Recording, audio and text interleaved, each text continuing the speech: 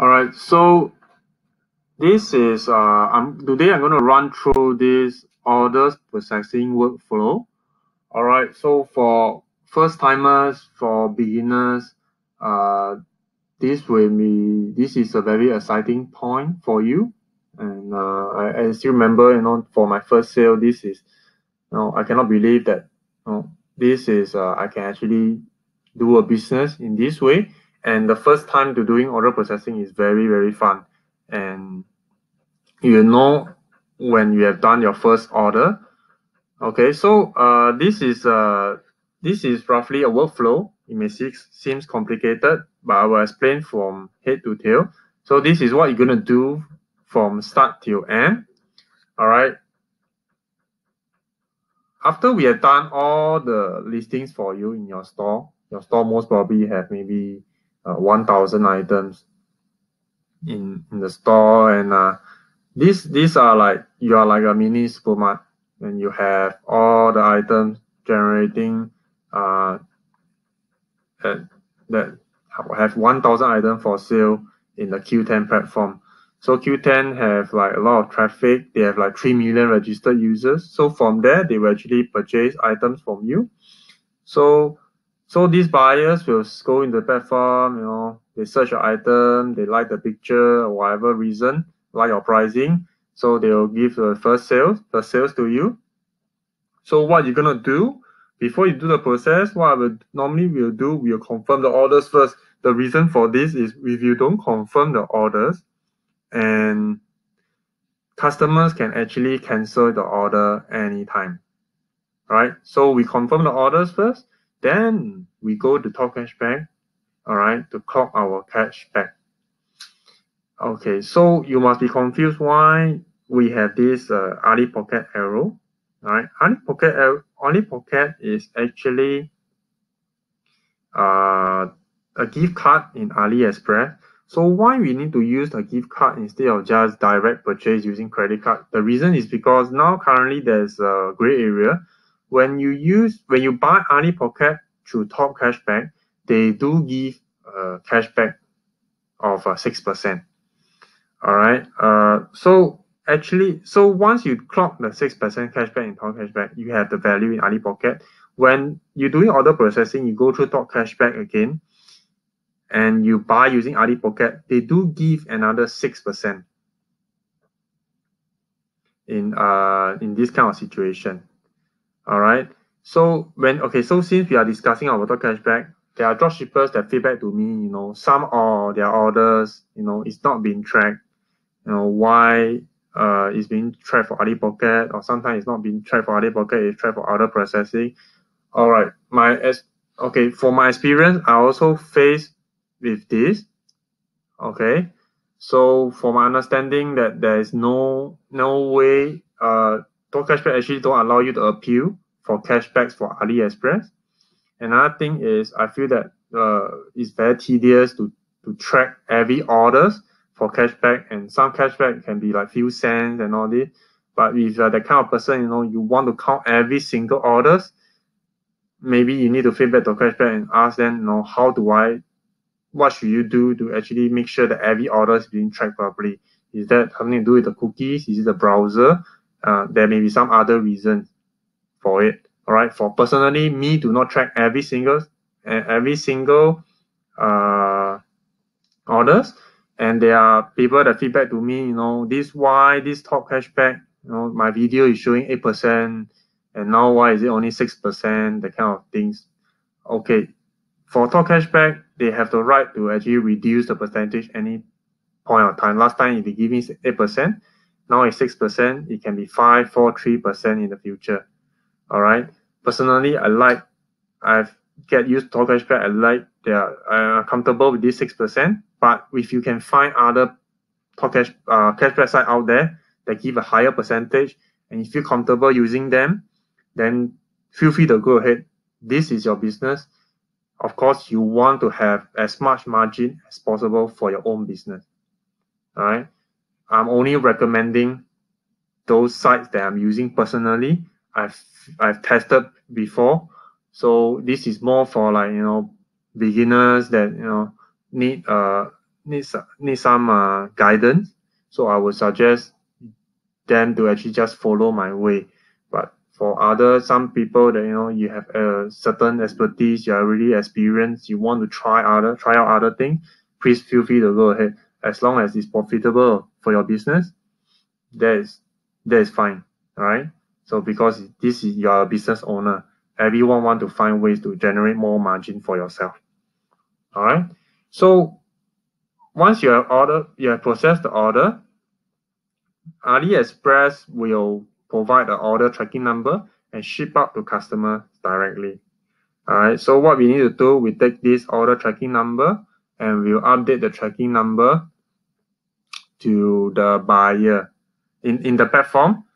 And and this this will this will the the orders will be become on delivery status in Qoo10 All right. So do take note that even though we have updated the tracking number, uh, buyers will not see the tracking number because we are using Qxpress. All right. I've gotten some feedback also regarding this. All right. My explanation is this. I've done a lot of uh, trial and error. I try to fix this. I try to use China Post registered mail. I try to indicate shipping from China okay in the end i think that we are spent and now i spent a lot of time on uh, managing each individual orders and you have to and you have to manage from inquiries from customers you have many inquiries from Qoo10 customer service and with we are with we and if you use China Post registered mail, they have a function that you know customers must click receive item before you can you can get the money into your account. So actually when so every single order, most probably maybe you need to email to the seller at Qoo10.sg to track every single order and, and ask Qoo10 to update tracking number for you. You provide the tracking number and show that customer has received the item, blah blah blah. But when you use Qxpress, they have actually they told I, if I'm not wrong, they have actually have this mechanism. No? Automatically, within two or three weeks, they will they will process the money to our account, and I feel that this is this is better for us. However, that the issue is no people will will customers will feedback. You know, this is misleading. You are indicating Qxpress, but you are using China Post, blah blah blah. But for me, I want to minimize all the customer service that I have to do at the end back end because this is not a profitable part of my business. Of course, we still uh, still answer them professionally within one business days, provide the best customer service support. But this is the part that no matter what you do, you can actually you can never fulfill the KPI from Qoo10 because Qoo10 local delivery two to three days, from overseas four to five business days. All right some people say that you know this uh, I, I've explained to some other uh, potential you know customer they told me that you know this is like a scam because it's misleading on the listing it shows that two to three do, domestic two to three days domestic delivery and we ship out two to four weeks later this is like uh, we are like trying it's like a scam this is not a scam I would I would say that this totally is not a scam all right we always make sure that the customer receive the item at the end of the day when we receive the money. If the item is not received or there's damage, we do a full refund. All right. The reason why we did not update is because that is the default setting in Qoo10. We cannot do any updates to indicate in our listings that the delivery will take two to four weeks. With that is, I will put in every single listing that I have. All right. So this is a restriction from the Qoo10 platform. There's nothing to do with, you know, we do not, uh, our, my, uh, the listing done from uh, my team or me is, is not done properly. There's no such thing because at the end of the day, this is a restriction. I, if, if I can fix it, I will already fix it for my own store. All right. I'm also doing this business for my side. It's not like I'm only doing for others. Okay, so uh, people ask me, you know, how do we resolve this? Is there a better way? I would suggest All right, I would suggest that this, if you want, you feel that this is too misleading and uh, you're unable to do this business, I would suggest maybe you can we can, you can go to uh, go back to the traditional model. You find a supplier out there, you bring a container of items, you load up in your house or warehouse, then you ship out yourself. That is the only way that you can guarantee that the shipping is done on time and customer can receive the item on time. Another thought, other way I've thought of and uh, I've seen other people suggest uh, done it. They find local suppliers and the local supplier actually ship out from there for them. So most probably with the supplier able to ship out on time, you still can achieve the two to three business days in Singapore. So these two, these are two alternatives that you can consider with this business model does not fit that you don't feel comfortable with this current business model. All right. For for me, I've done this for like close to two years and I so far I've done um I look at the reviews in store people of course we cannot get like five star rating for our store so far i've seen three stars three and a half stars based on what i've done and 95% of my customers are happy with with this and only 5% of customers that you know what i face that, that feel that this is uh, ridiculous and all these things so to, to me i think um, you have to have certain flexibility doing this drop shipping business, uh, you already know that you are shipping out to customers two to four weeks uh, longer. And if you cannot uh, manage this expectation and uh, there's a lot of issues in your store, definitely there's a higher risk that Qoo10 will come to you and know and you know and track and, and see what are you doing in, in, in their particular marketplace. So you have we have to be very careful with this. But so far I have not had many major issues with Qoo10 and uh, I feel that this uh, this is a very good model because we can we can start doing a business with a small capital, small uh, capital startup and uh, I don't think there's any many business models out there that can let you start with such a small capital. And we do not have the stress of uh, keeping inventory. The most stressful part maybe we had to handle these uh, customer service customers and uh, these issues. But I feel that um, every businesses have their pros and cons. This definitely this is for you to judge and whether this is suitable for you all right but i would just say that this is a very profit this is a profitable model and since now the margin is still healthy i will continue to do it i hope that you all can will continue to do it and uh, with when we reach a stage that that uh, you know people mention to me you know will there be more competition and all this uh, how do we know that you know we we will not be selling the same items in the platform and blah blah blah.